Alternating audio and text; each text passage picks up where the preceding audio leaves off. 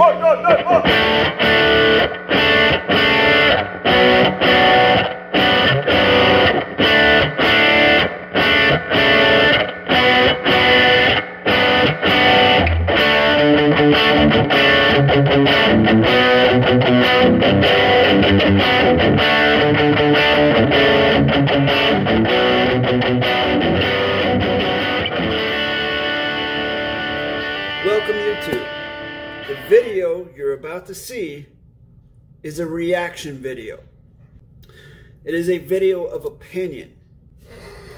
Nothing personal is meant toward the individuals in the videos.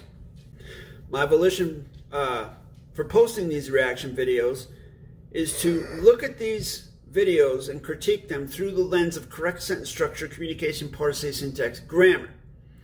Usually they are quantum grammar related videos. And I'm looking for correct sentence structure knowledge here. And I'm also looking at the claims made in the videos through the lens of correct sentence structure, communication, parsing, syntax, grammar. Now you may notice that I'm doing certain things with my hands.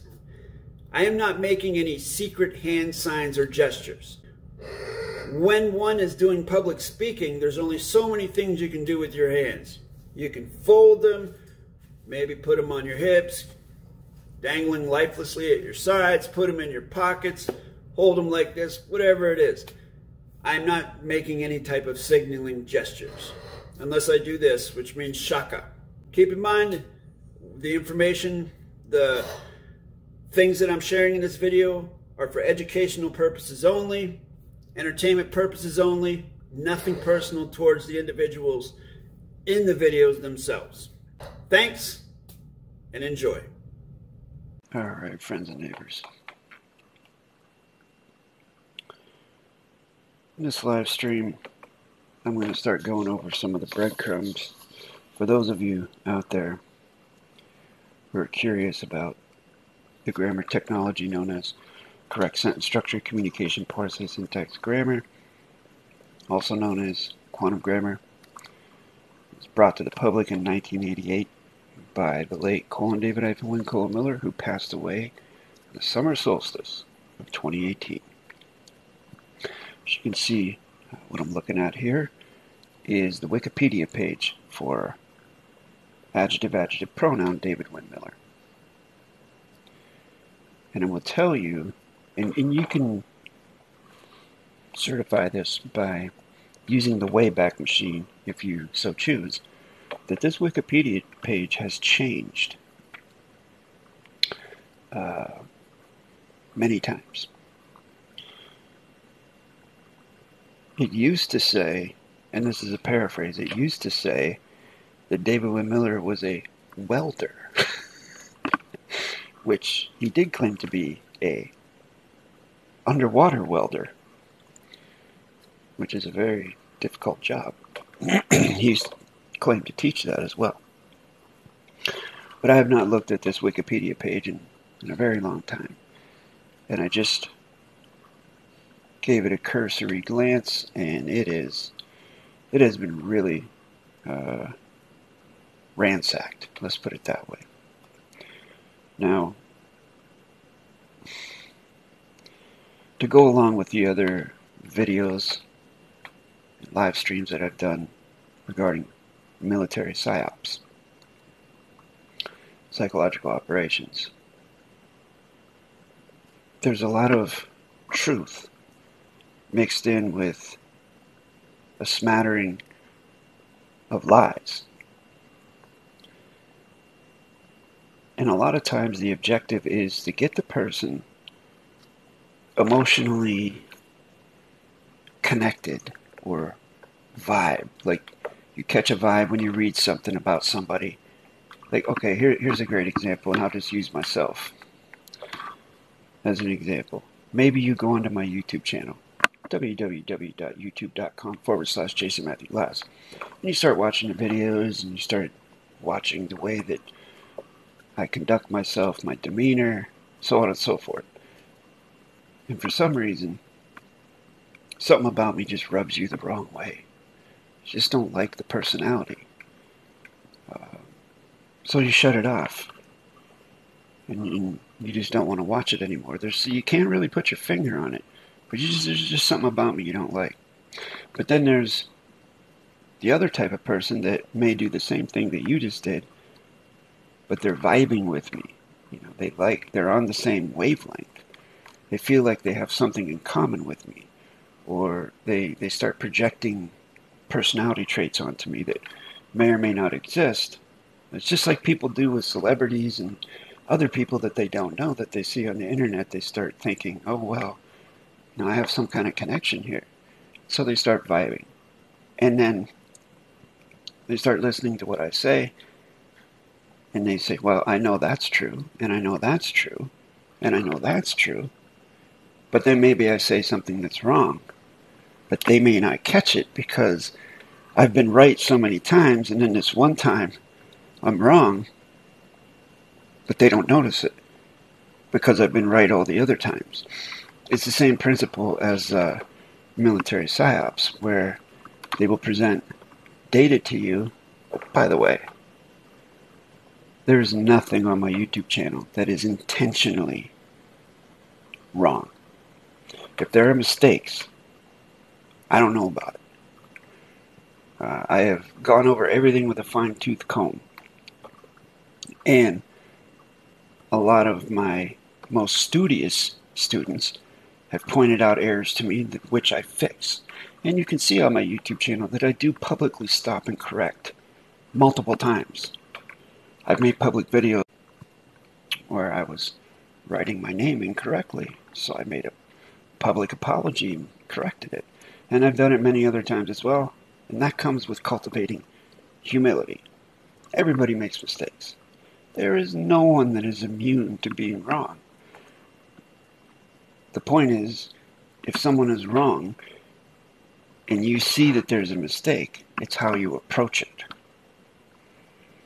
Because if someone's going to tell me I'm doing something wrong or it's not correct, they have to provide a continuance of the evidence as to why it's not correct. And then they have to tell me how to correct it.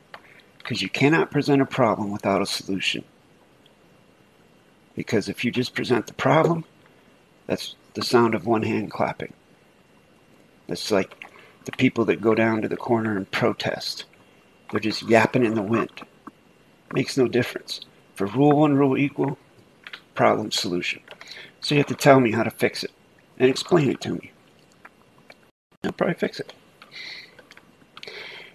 Anyways, so that's the way military psyops work.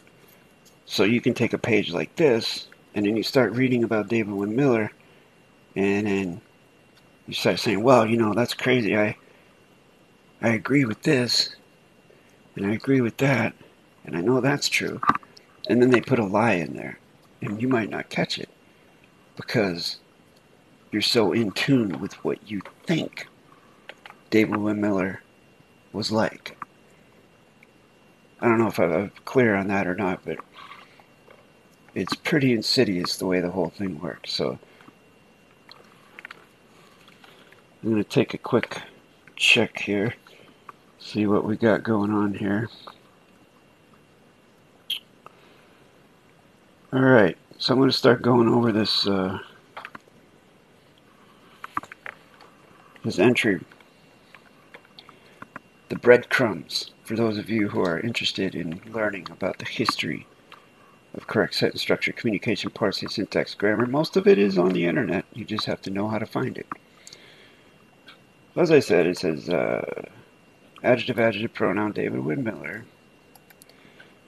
Also styled, colon, David Ivan colon, Miller. Was an American tool and die welder, underwater welder. Pseudo legal theorist and leader of a tax protester group with the Sovereign Citizen Movement.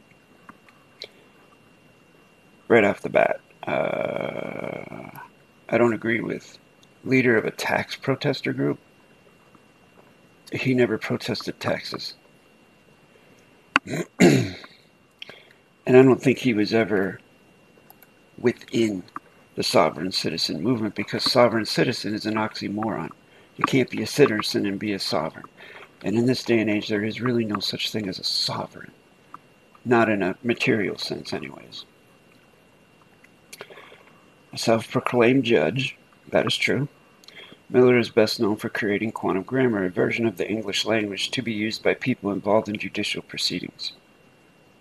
That is not entirely true. It is not a version of the English language. It does not say quantum language. It does not say correct sentence structure, communication, parsing, syntax, language. It's grammar. There's a difference. The reason why the word grammar is used at the end is because it takes authority over what came before it. Authority comes at the end. It is a grammar that can be used with any language. English is a language. French is a language. Quantum grammar is a grammar. a lot of this is common sense stuff, folks. He asserted that his constructed language, which purportedly based on mathematics and includes unorthodox grammar, spelling, and punctuation and syntax, constitutes the only correct form of communication in legal processes. I don't agree with that either. I, I don't think he ever said that. That it's the only correct form of communication in legal processes. It's the only correct form of communication in a written manner legal or otherwise, written. It's a written grammar.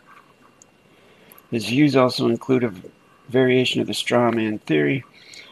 People seeking remedy with Miller's syntax in court have not met with success. That is definitely 100% not true. Uh, I have personal experience with that, as well as some of my best students have also had personal experience with what we would call success using quantum grammar in those foreign vessels in dry dock. His language is incomprehensible to most people. Again, it's not language, it's grammar. And that is true. Just because of how we've all been indoctrinated with how a certain specific way of reading and writing that's filled with modifications. So when we see something that uses position loadial phrases and only one verb per thought per sentence, it looks very, very strange. And the pleadings that use it are routinely rejected by courts as gibberish. That is true. That is true. Because number one, correct sentence structure, communication, parsing, syntax, grammar, document, contract, postal vessel, court venues don't plead anything. It's the farthest thing from a pleading. It's a claim. When you go into a foreign vessel and dry dock, i.e., a fiction court, and you plead, what are you doing? You're begging. Oh, oh, please, have mercy on me, Judge. It's like that, you know? You're pleading. You're begging. Quantum grammar does not do that. It's farthest thing from it. It's making a claim and holding a position. But it is true that it is routinely rejected by courts as gibberish. Uh, because either. Now, we can't make assumptions for other people because that's a trespass. But either, and this is what I think is going on, in my humble guess, they don't know what it is. They don't know it. So they do reject it because they don't want to cognize it. Or number two, they do know what it is and they know what it can do. So they reject it out of hand. But that's another story for another day. It's also known as vacating. Since Miller's death, his language has been continued. It's not language, it's grammar. Continued usage by other people within the sovereign citizen movement. Again, with the oxymoron sovereign citizen. Let's see. Miller lived in Ohio. He claimed that at the age of 25, he died for half an hour when an inept surgeon removed both his kidneys and adrenal glands. His heart restarted spontaneously while outside his body during autopsy. Following this, he said his IQ became 200, his endorphin levels were six times normal, and he stopped aging. Yes, he did claim those things. Miller's activism stemmed from his own frustrating experience with the legal system. True, during the 1980s, he went through a divorce proceeding and appeared pro se in numerous child custody hearings, 67 according to his website, losing every time. I am not familiar with that number 67, but I have no reason to discount that. But the important thing is, is it says he lost 67 times. That's a lot of times to lose. But he didn't give up. Having been convinced that the judiciary was rigged and governed by linguistic maneuvering, true, and that the English language had been deliberately modified to enslave the people, maybe so, maybe not so. No way to certify that, really. He decided to override the system by developing his own theory of language, grammar, to be used as a form of legalese. No. I don't think David ever categorized correct sentence structure as a form of legalese. Legalese is legalese. Correct sentence structure is correct sentence structure. One and one is one, one word, one meaning. So that is incorrect. Miller claimed to have created his language in 1988 by discovering the mathematical interface in the truth that certifies all 5,000 languages frontwards and backwards. According to Miller, the use of his grammar, not language, grammar, guaranteed successes in court cases, and it could also be used to eliminate taxes and disbar judges. Alright, so there's a lot of mistruth in there. I don't think he ever said that he guaranteed successes in court stores. I don't think I've ever uh, court cases. I don't think I've ever heard that. It could also be used to eliminate taxes. I don't think he's ever said that either. And disbar judges, he did say that. He did say that. In the following years, he promoted it through seminars, books, and videos.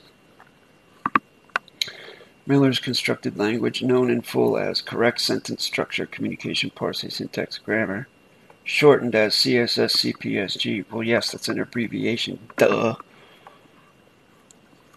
These other ones, I mean, Quantum Grammar is the only other one I used personally. Some of these I haven't even seen. Miller's design involves sentences that begin with prepositional phrases using the word for it is easily recognizable, among other traits, by the constant and repetitive use of the phrase for the and with the, and by the absence of action verbs except in gerund form, meaning the ing that he and Russell J. Gould like to stick on to their facts, well, what they would call facts, but which actually in reality modifies them. And so the ing is a particle of negation. I don't personally use that because it is a gerund. It's a gerund modifier. So let's take a look at this sentence. For the forms of our punctuations are with the claim of the use. Okay, so there's a particle of negation. That is not correct. And then we have a full colon, which represents with the.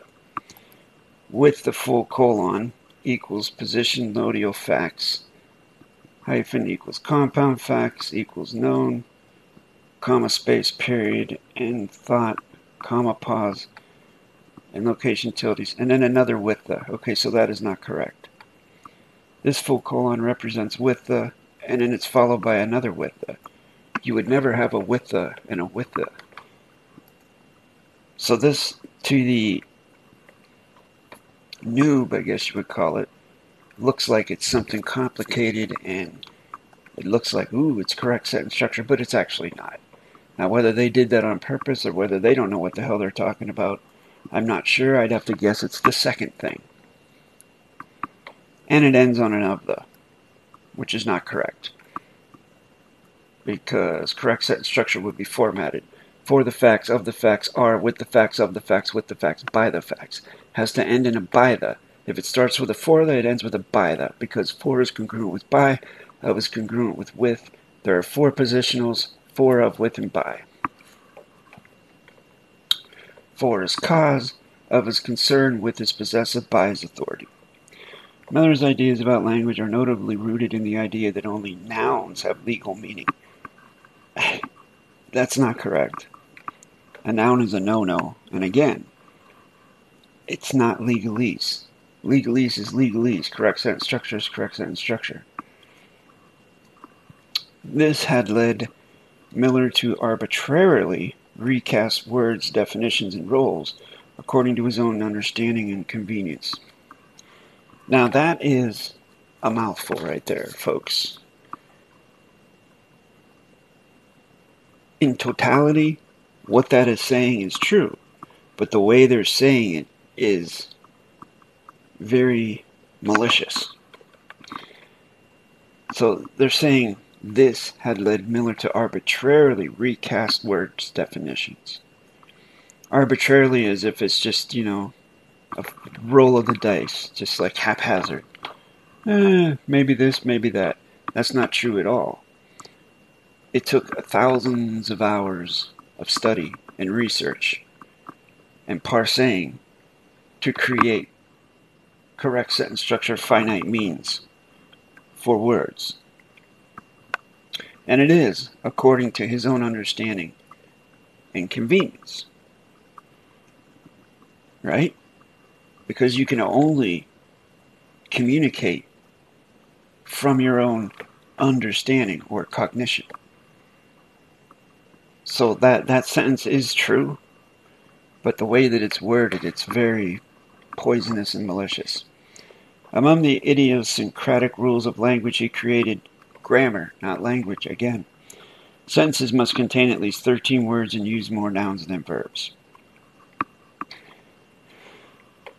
The sentence doesn't have to have at least 13 words. The shortest correct sentence structure would be for the facts, of the facts, are with the facts, by the facts. That's the shortest. Um, and there's one verb per sentence, one thought per sentence.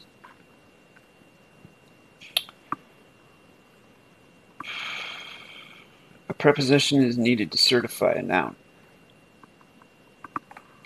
Replace the word noun with fact. And that is not true. A, pres- a positional and a loadial certify a noun because one is opinion, two is certification. Positional, loadial, certification. Then you put your fact in.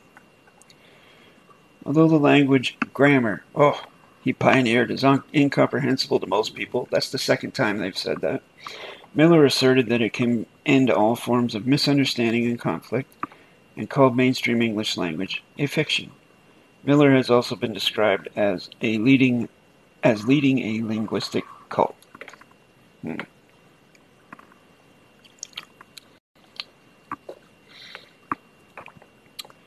I guess I've seen that before. Um, talking about okay. After creating this language, Miller began styling his name as David Wynn. David Wynn colon Miller, claiming that the punctuation marks are hieroglyphics that make him life. I don't think I've ever heard him say that the the punctuation makes him life. And that without them his name is two adjectives and a pronoun. That is correct. Oh, by the way, do you know what a hieroglyph is? You are looking at a page full of hieroglyphs right now. Any letter, number, squiggle, they're all hieroglyphs. Or hieroglyphics. So that's nothing mysterious about that. In a variation of strawman theory, Miller claimed that the addition of hyphens and colons to a person's name makes the person a prepositional phrase.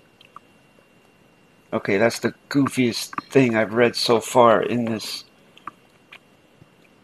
in this Wikipedia entry, even out outside of Miller's heart restarting outside of his body. That is blatant uh, misrepresentation of what he said. He's never, ever said that. it makes the man or woman a fact. The punctuated name then becomes copyright copy claim to the live life claimant, whoever the punctuated name belongs to. It doesn't make them a prepositional phrase. the person is thus identified as a fact existing. Ah, oh, I just said that. They said it makes a person a prepositional phrase and then identified as a fact. That's hilarious. Existing in the now time dimension Because, folks, what do we have? All we have is right now. The past is the past, the future is the future. They don't exist. At least, not now. Get it? The names are written in this way are distinguished from the names listed at birth and in all caps, as on a birth certificate, which can identify the legal estate, not the living being in fact. Signing up to get a birth certificate allegedly creates a taxable person. okay. Who signed up for a birth certificate? Did you? When you were birthed in that operating room, did you say, Bring the bill of the lading to me. Let me sign it and thumbprint it. And now I have my birth certificate. Did you do that? No, you didn't. Because guess what, folks? The birth certificate had nothing to do with you. You didn't consent to it. You weren't old enough to. Your parents did. Or whoever your guardian was. They're the ones that did that. That was created without you. And when you reach the age of, we'll call it cognition, where you're old enough to know better, you can go about extricating yourself from that if you choose. And that's another story for another day. Therefore, Miller asserted that by adding punctuation to their names and by using his language, his grammar, in their tax return forms, people could avoid paying taxes. I don't think that he ever actually said those things. At least I can't find any evidence that he did, no video evidence that he said that. I think the closest thing he ever talked about taxes was learn how to pay your taxes with correctness. He never said avoid or try to get out of paying taxes, because again, that's incorrect psychology. No judge has ever accepted this argument, and in fact, many of those who have attempted to use it have ended up in jail.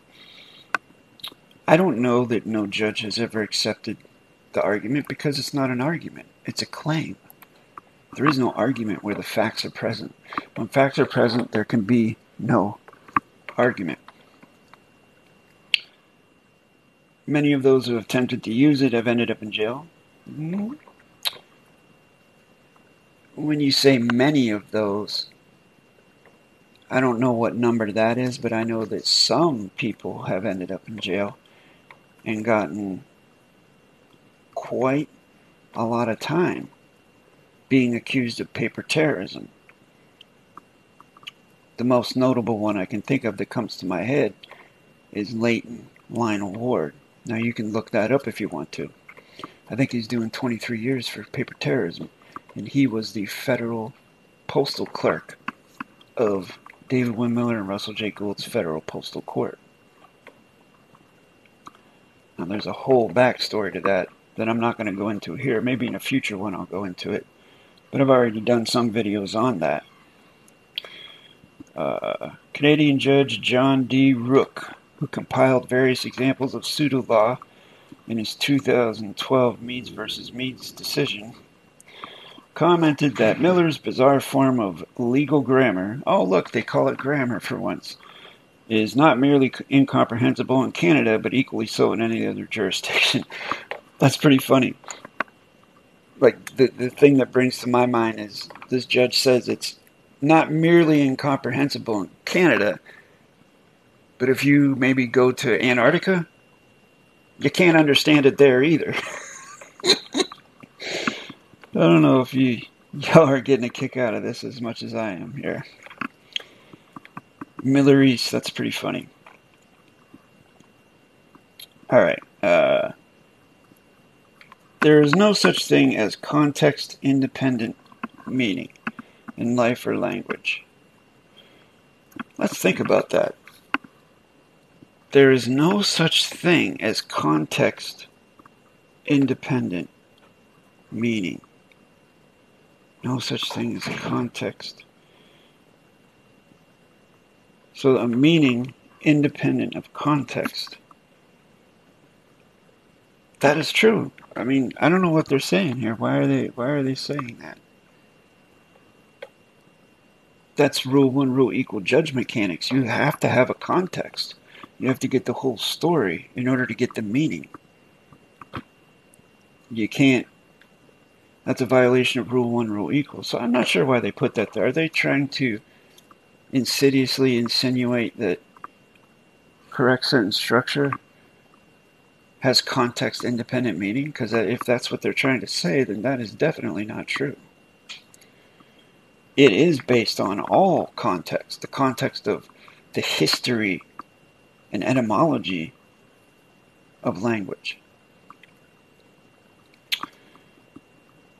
Miller has used and may have originated a scheme found in organized pseudological commercial arguments that cites the Universal Postal Union as a supranational authority the argument is that affixing a stamp to a piece of paper changes the authority under which it is governed. He assumed the title postmaster and calls his followers the adherents of the universal postal system. Miller claimed that he had a billion followers and that Bill Clinton and the entire Supreme Court of the United States were his students. Okay. He also claimed to have taught Kamala Harris for a month, I think it was. And if he taught her for a month, just based upon my own thousands and thousands and thousands of hours of doing this and teaching people all over Earth, I doubt Kamala Harris knows correct sentence structure. Um, as far as what they said about the uh, post office, this is true. Everything is shipping. Everything. You got stamps, you got bullet stamps on everything. You got bills of the lading, licenses, permits, passports. Everything is shipping. So for them to it's it's here, here's the bottom line, friends and neighbors. You have a fiction legal system, the foreign vessels in dry dock they use stamps on their documents. They use little round bullet stamps. I have one. I have a couple, as a matter of fact. The same thing that they do in their system, any one of us can do as well, if we have the knowledge. And we have the grammar. They have their grammar. It's called legalese. They do what they do. They have their secret club, the Bar Association. The judges and, and attorneys are all part of that. If you didn't go to school for seven years or seven plus years, um, you're not a part of it.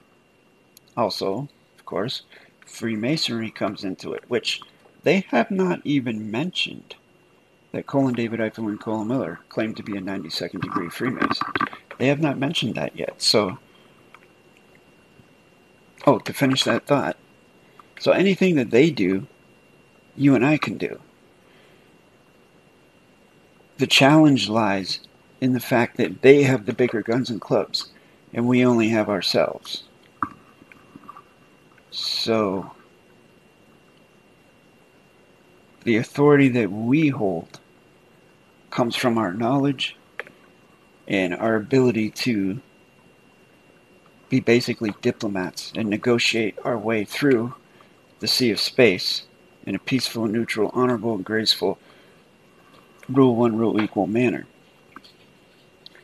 They, on the other hand, don't have to participate with any of that because they can just physically force people to do stuff against their will, which that's an act of war and negates contract. So that comes around in a karmic sense and bites them in the ass. So that that is true, though, that we uh, face the bigger challenge. But think about it this way: there are no guarantees. If you were to go and pay an attorney for some kind of, I don't know, whatever case you got going on in the fiction courts, if you were to go to pay an attorney thousands and thousands of dollars, you may win, you may lose.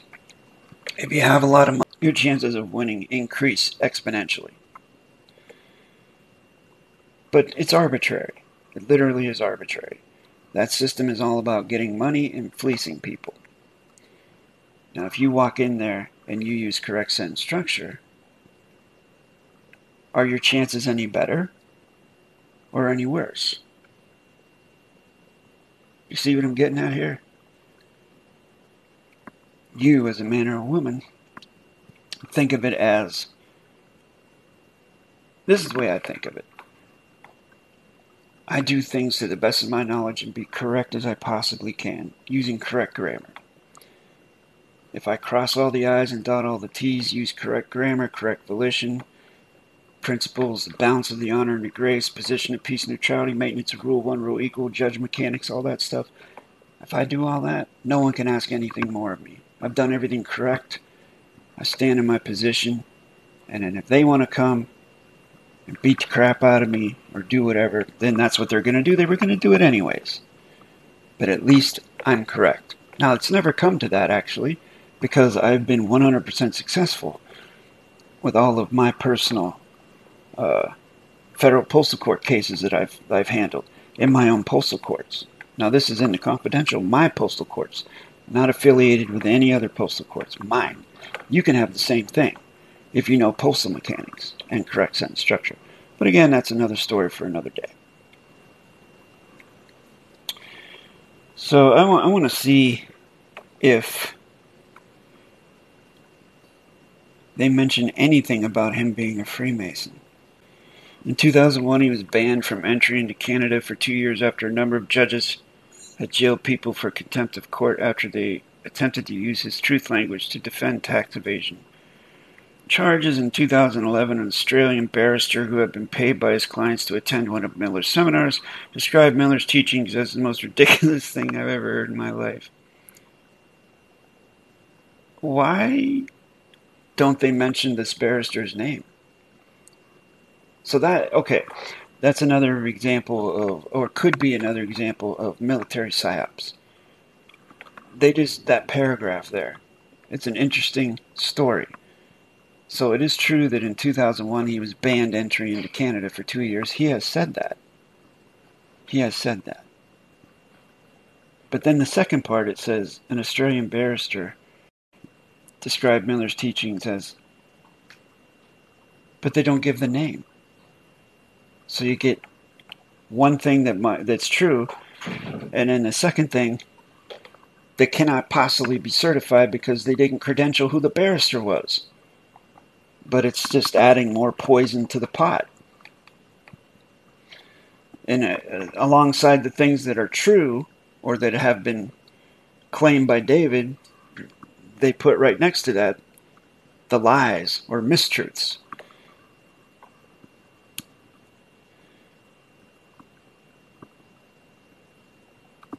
I really can't believe. Oh, look. You have some example of cases. And. Oh, wow. You can find a plethora of breadcrumbs in these footnotes here. Let's see if they mention Leighton Lionel Ward.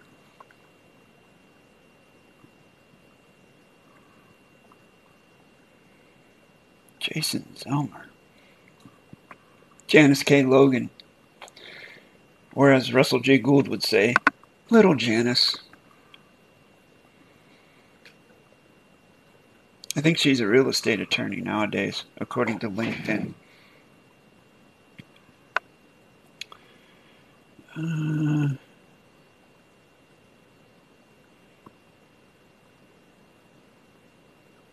okay, so I'm looking for two things here.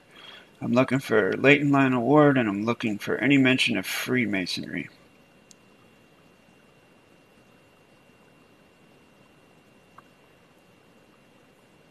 This is stupid. I don't even know why they put that there. Oh, here we go. Leighton Ward worked as clerk of the Federal Postal Court. Uh, was arrested 2017 charged with various offenses including fraudulent schemes and artifices in creating false documents, paper terrorism. Uh, the court eventually revoked his self representation. In August 2017, after Miller suffered a heart attack, one of his longtime collaborators, Russell J. Gould, published a video in which he purported to court martial Miller. It was a military court martial, by the way, which is ridiculous, and I've explained that in other videos. To remove his authority as a judge, the website of Miller's Federal Postal Court later went offline because Leighton Lionel Ward ran that website. Gould has since continued using the quantum grammar created by Miller Miller taking part in judicial proceedings and claiming to be the Postmaster General of the world. No reference at all to Freemasonry. That is so interesting to me. So, anyways, you can go on to the David Wynn Miller Wikipedia page and you can find all kinds of examples uh, of correct sentence structure being talked about on the internet. If you'd like to learn correct sentence structure, communication, parse, syntax, grammar, contact me at the email address listed at the bottom of your screen. I will set up a 10 to 15 minute video consultation between you and me. You can ask me whatever you like, and I'll do the same, and we'll see if this is something that uh, you're prepared to commit to. Thank you again, and I'll see you in the next one.